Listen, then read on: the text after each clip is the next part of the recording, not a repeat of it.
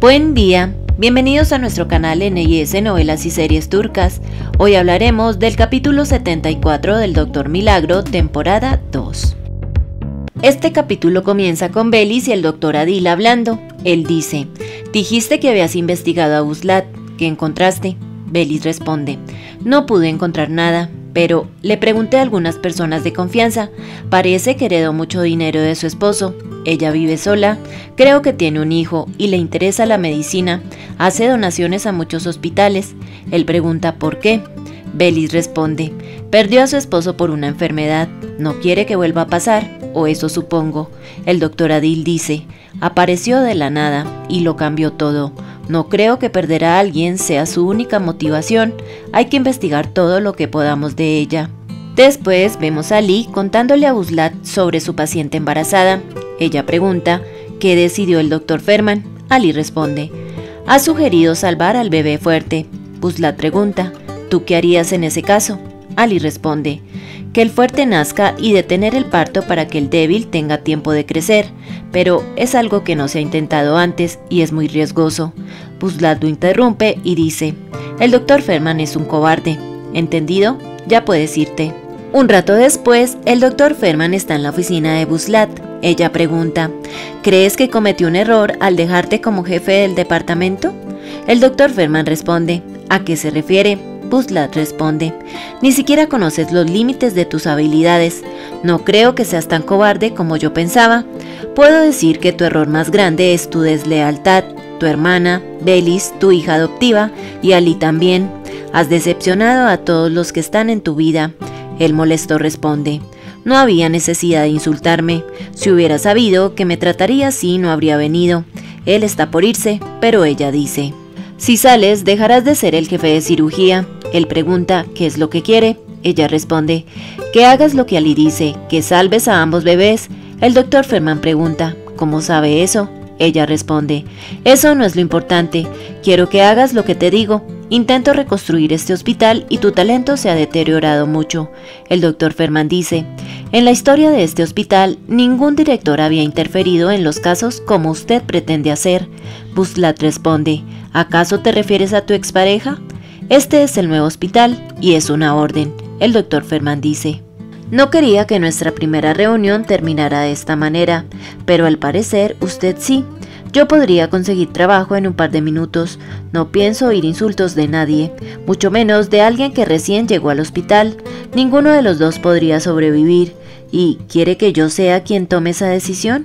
Entonces, si usted lo decide así, mejor preguntémosle a la paciente. Buslar responde, muy bien, el mundo ama a los valientes, entonces que la paciente decida. Ali llega a la zona de lavandería y allí lo estaba esperando el doctor Ferman. Él pregunta, ¿qué hace aquí? El doctor Ferman responde, ¿qué haces tú aquí? Sabes bien lo que hiciste, entraste en pánico y por eso viniste a ver las lavadoras, como siempre lo haces cuando te pones nervioso. Te estoy dando la oportunidad de que lo confieses. Le dijiste a Buslat sobre nuestro caso. ¿Qué te pasa? ¿Por qué te fuiste a quejar de mí con esa mujer? Después de todo lo que he hecho, sabes que no soy tu enemigo. ¿Fue porque me he mantenido lejos de ti? Ali no responde y el doctor Ferman le advierte que si se llega a enterar que fue él quien habló con Buslat, se molestará mucho. Después vemos a Lee, Nasli y el doctor Ferman hablando. La paciente ha decidido seguir el procedimiento de Ali y salvar a ambos bebés. Ali dice, creo que la señora ha tomado la decisión correcta. El doctor Ferman pregunta, ¿eso lo crees tú o Buslat? Ali responde, yo también lo creo. El doctor Ferman dice, lo lograste, bien hecho. Ali responde, no estoy feliz, no fue lo que escogí, yo nunca haría nada. El doctor Ferman lo interrumpe y dice, ¿a mis espaldas? Eso ibas a decir. No acepté tu opción y fuiste a contárselo a ella. Si no fue lo que elegiste, ¿por qué lo hiciste? Ali no responde y él se va. Nasli pregunta, ¿en serio lo hiciste? Ali se va. Luego de un tiempo, Ali y Nasli están en la sala de descanso. Ella le dice, ¿Cómo estás? Tú sabes que puedes hablar conmigo. ¿Por qué lo hiciste? Tú no eres así. ¿Estás bien? Ali responde, No lo estoy. Nadie lo está. Ni siquiera tú. Nasli pregunta, ¿qué hice ahora? Ali responde, dijiste que siempre me ibas a querer. ¿Era mentira? Nasli dice, claro que no. Ali responde, entonces, sigues dándome rodeos, inventando excusas, me siento muy confundido. Dime, ¿me quieres o no me quieres? Nasli dice. ¿Y eso de qué importa? Me he acercado a ti muchas veces, pero tú no quieres, me rompes el corazón. Ali responde, ¿lo hice a propósito? No entiendo las relaciones. Nasli lo interrumpe y dice, no puedes hacer esto, yo soy cruel si lo hago, pero no te das cuenta si tú lo haces por el autismo. Es muy injusto. Ali responde, eso no es importante. Autismo, bipolaridad, si quieres a alguien lo quieres y ya. Nasli dice, te quise y mucho, pero tú te fuiste. Ahora no puedes volver como si nada pasara.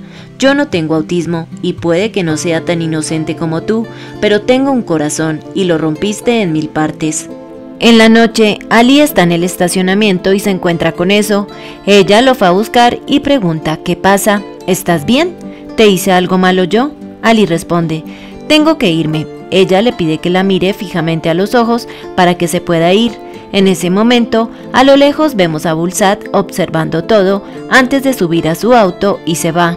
Al mismo tiempo vemos al doctor Adil leyendo unos expedientes que un amigo le entregó sobre Buzlat y toda su información. Allí él se da cuenta que eso es su hija y queda muy pensativo. Ali está saliendo del hospital y se encuentra con Buzlat. Ella le pide que suba al auto. Mientras van por la carretera le dice, te dije claramente que no quería que vieras a mi hija. Ali responde, yo no la veo, ella me busca, me escribe, pero yo no le contesto. Buslat le pide que la llame y le diga que quiere verla. Ali obedece y pregunta, ¿para qué fue eso? Buslat responde, porque conozco a mi hija y sé que no se rendirá contigo, a menos que lo hagas en persona y le digas que no quieres volver a verla. Ali dice, no me creerá y preguntará por qué. Buslat responde, dile que es por su condición. Finalmente, Ali se encuentra con eso. Ella le dice, por fin te veo. Estaba preocupada, Pensé que había hecho algo malo. Ali responde, no puedo, ya no puedo verte, y se va corriendo. En casa de Belis está Tanju. Ellos estaban hablando por teléfono y ella le contó que Leila estaba algo caliente. Tanju decidió ir a ayudarla y le dice, Tranquila, solo hay que enfriarla con una tela fría y se pondrá bien. Belis responde, le dejé muchas responsabilidades a Ferman. Ahora que no está, Tanju la interrumpe y dice, Debes acostumbrarte, pero debo confesar una cosa, dejarte ir a ti, a Leila, y este estilo de vida es porque en verdad no te valoró. Belis le agradece y va a la cocina a prepararle un té. Al día siguiente, Ali se encuentra con Buslat.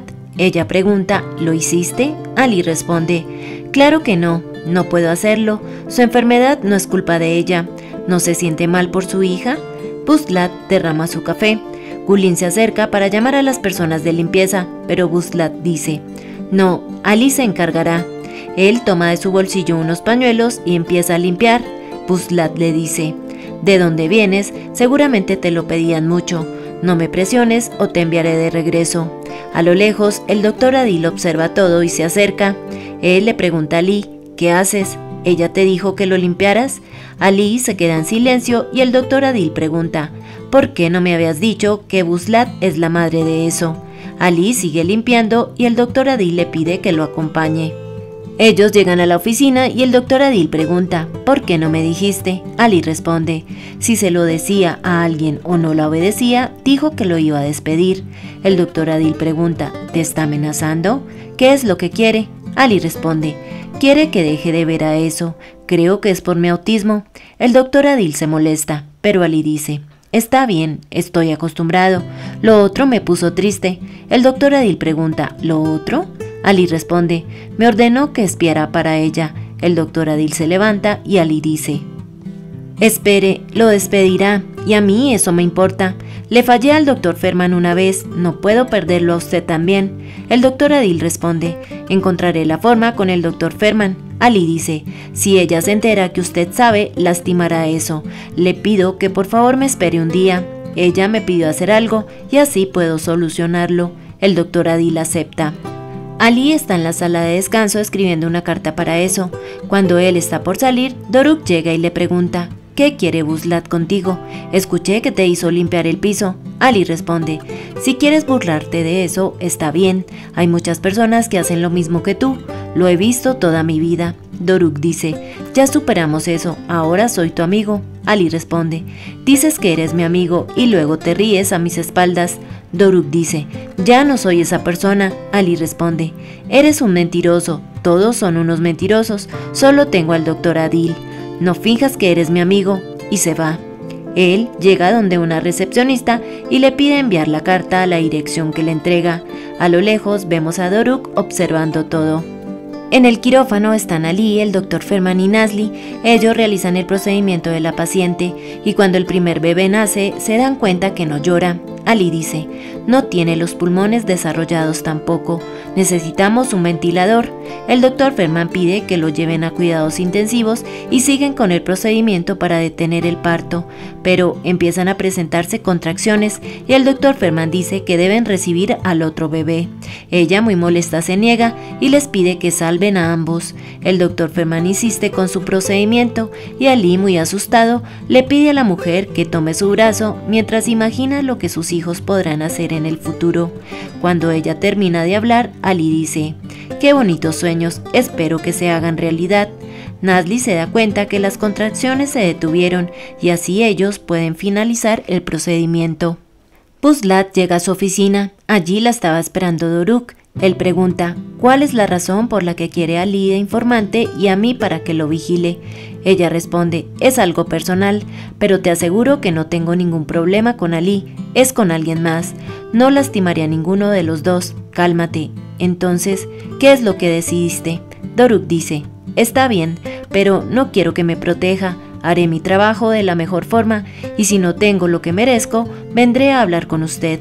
Buslat responde, es un trato. Las acciones hablan mejor que las palabras. Doruk dice, muy bien, una acción para usted.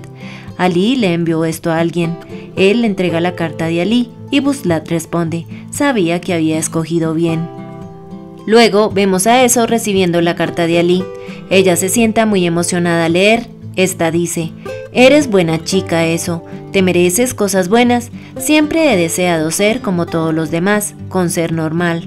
Pero al fin me di cuenta que nadie lo es, todos estamos algo locos, pero tú estás muy loca. Tu enfermedad es difícil para mí, eres inestable, actúas de forma inconsciente, no puedo estar contigo, es demasiado agotador. Ella queda muy triste. Es así como termina este capítulo. Gracias por ver este resumen. No olvides darle like a este video si te gustó, suscribirte y activar la campanita de notificaciones para que no te pierdas los próximos videos. ¡Hasta pronto!